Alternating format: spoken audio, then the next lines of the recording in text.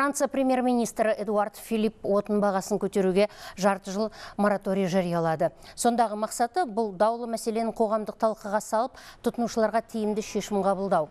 Келіссөздер кезінде газ бен электрге тариф өспейді айта кету керек бағаны түсіру шерушілердің негізгі талаптарының бірі. Францияда соңғы үш аптада қымбатшылыққа қарсы демонстрациялар тоқтамай отыр.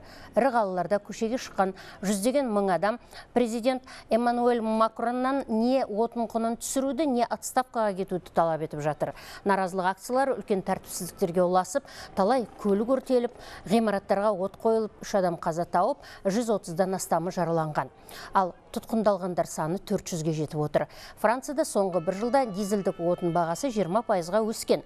Макронның ойынша отынның қымбаттауы елді экологиялық таза энергияға көшуге ынталандырып экономиканы мұнай нарқына тәуелділіктен арылтады.